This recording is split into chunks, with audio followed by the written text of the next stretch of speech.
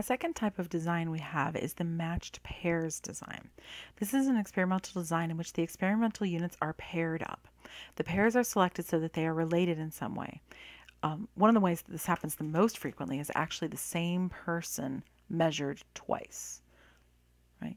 So you're matching up with yourself. You create a pair of results from your own self. Um, twins right? Married couples, etc. So you're matching a pair up to, with each other. There are only two levels of treatment in a matched pairs design before, after. Right, the first twin, the second twin, the first spouse, the second spouse. That's it. So there's always just those two levels of treatment. All right, so let's look at this example because, of course, it'll all make more sense with an example. Xylitol has proven effective in preventing dental caries, i.e., cavities, when included in food or gum. A total of 75 Peruvian children were given milk with and without xylitol and were asked to evaluate the taste of each. The me- researchers measured the children's ratings of the two types of milk. Okay, so the response variable is right there. They're talking about the children's ratings of the two types of milk. So that would be the response variable.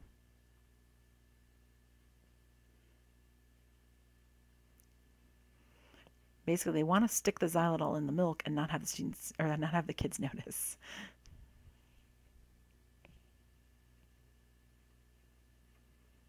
Oops, I ran out of space to write this. All right. Think of some factors in the study. Which are controlled and which factor is manipulated? Um, all right, so let's think about some things that we're trying to control.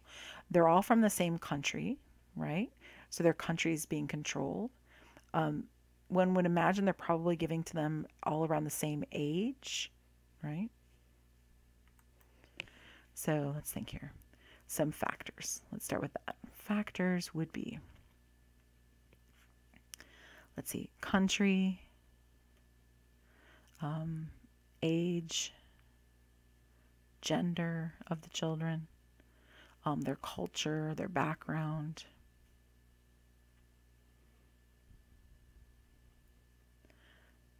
Oh, so many things.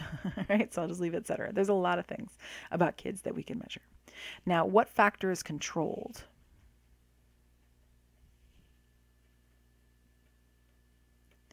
That would be the country, right? because it tells you they're all Peruvian children. So the country is what's controlled for. Right? They made it so that all the um, children are from the same country. All right, now what's being manipulated? Well, the factor that's being manipulated is the milk with and without xylitol, which is another factor actually I, I could put up here. So the milk, I'll just say milk. I'll just put it right in there. So that's another one. So that's what we're manipulating for these children. The thing we're changing is the milk with and without xylitol. I guess I could just say milk. You know what? I'm just going to say that. The milk is what's being manipulated. Right? That's the part that's changing. Okay. Which, don't even get me started. Milk, you could start going into the cows, and milk tends to be a local product. So um, the cows that make the milk, the grass that's feeding the cows, et cetera, et cetera. All of those are factors that could be affecting this. Um, so I, I'll even add those things in. Cows, the grass, the local grass, right? That affects the taste of milk, etc. right? So actually, um, factors controlled, probably the milk is controlled as well. They're probably making it all the same type of milk and they're just doing with and without xylitol. So I would argue that milk, cows, grass is probably controlled for, again, by having it all in Peru. Milk products um, tend to be local because milk will spoil if you try to ship it for long distances. So if you notice in your local um, refrigerator cases in your local grocery store, they're all milk that's from pretty much close to around where you live. Um, and then it, if you drive across the country, you'll notice it changes. and that's because milk is still a very local product.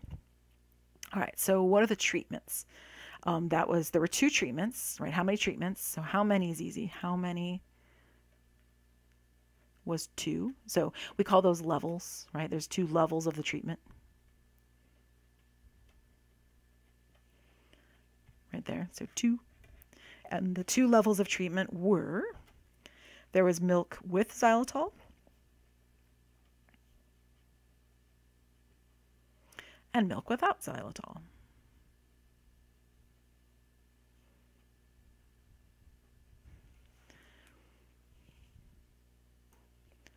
All right, now how are factors that are not controlled for, like age, gender, culture, background, all that stuff, how are they manipulated or dealt with? Well, we don't really know because they didn't tell us explicitly. However, we have a pretty good guess. It's probably random, random assignment. Because otherwise if you get all the kids from the same area or the same background etc then that's not really great. So what you do is you have a random assignment. So you're going to get random ages random genders etc so you'll have you know an even split of you know male female for example and then you'll have you know a whole bunch of different ages. Or if you're only interested in this age group that's what you'll have. Now this is a matched pairs design because they're having the same kids drink both milk with and milk without. So that's totally matched pairs. Matter of fact, I will circle that. Milk with and milk without. It's the same children, right? So that is matched pairs. That's a before and after thing. So matched, oop, not mathed. I'm teaching math, but that's not the same thing. Matched pairs as a design.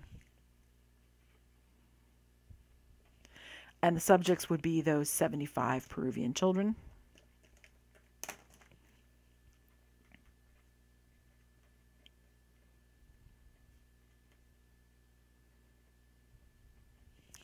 All right, now we want to draw a diagram to illustrate this.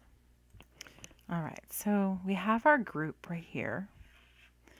So group, it's one group of 75 Peruvian children.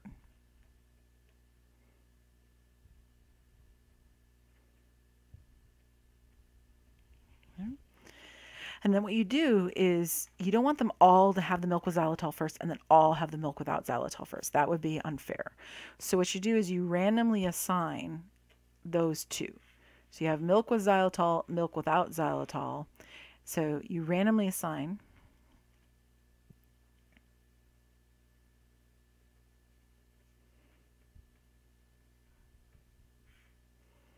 milk with xylitol and then milk without xylitol.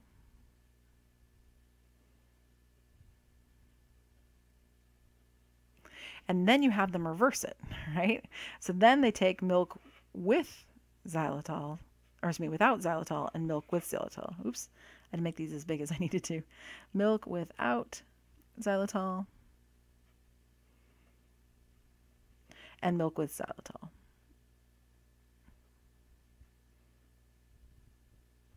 And I guess uh, it'd be better for me to put and say the random assignment's kind of here when you randomly select them for those groups because you're randomly assigning who's going to get to get the milk with xylitol first versus who's going to get the milk without the xylitol first. So it's really back at these arrows that you're doing that.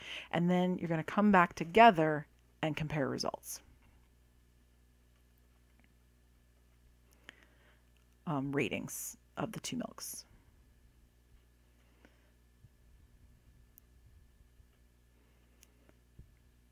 Now, there's not really much difference in here, but what's happening is just that when you separate it, you're separating into two groups. So either they take it with xylitol first or they take it without xylitol first. And then their second one would be the opposite. And then they'll compare their ratings, right? So the reason you don't have all the kids take it with xylitol first is just maybe that will be biased in some way. So by randomly assigning that, you're eliminating that bias of taste, say, or flavor on your tongue.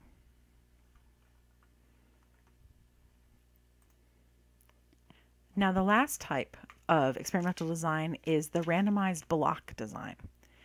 This is when you group together similar homogeneous experimental units and then randomly assign the experimental units within each group to a treatment called blocking. Each group of homogeneous individuals is called a block.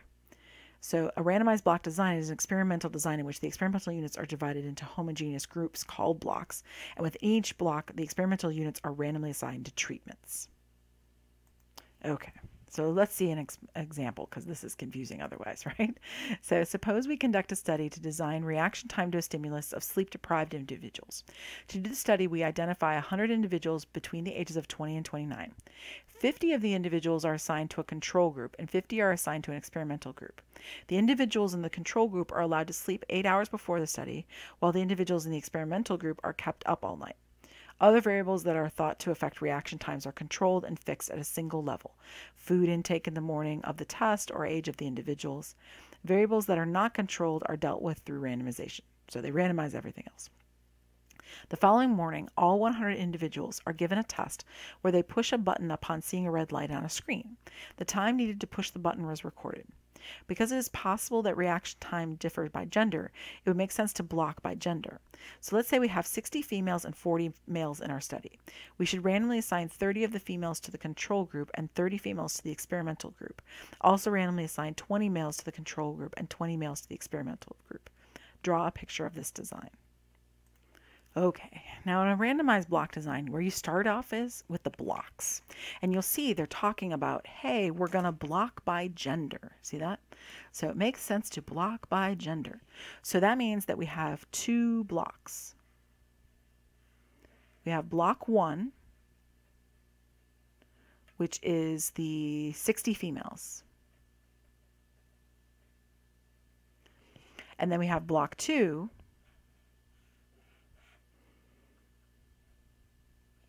which is the 40 males. Right?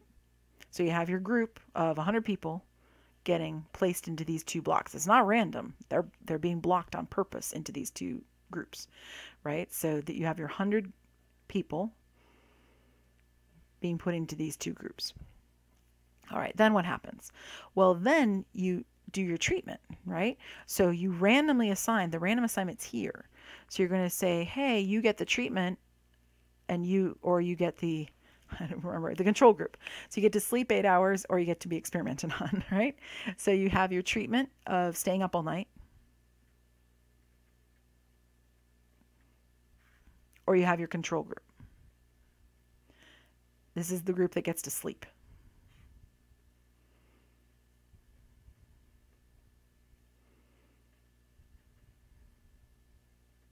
right?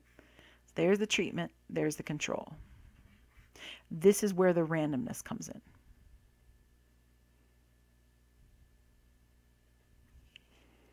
And then you do the same thing with the other block.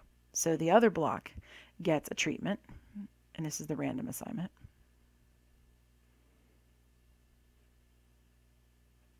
So they have a treatment of being up all night.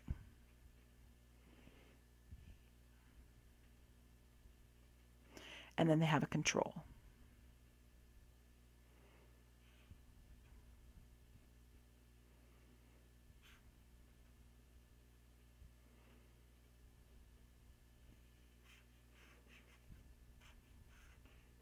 So you've blocked them into two groups and then you administer the treatment along that or the control to each of those two subgroups of those blocks.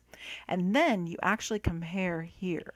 So the comparison is here. You compare reaction times among all the women, and then you compare reaction times among all the men.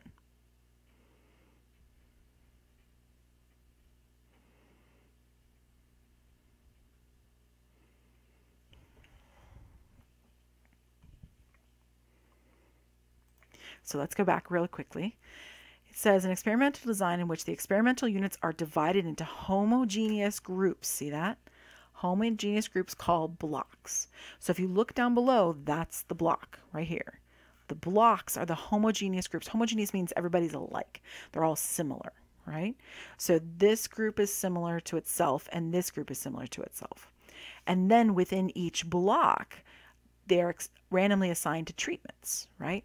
So within all the females, the random assignment's here, not back here as it was in the other two designs, but it's, it's up here, right? And then you randomly assign treatment control, treatment control. If there was more than one treatment, like treatment one, treatment two, you would do that in here.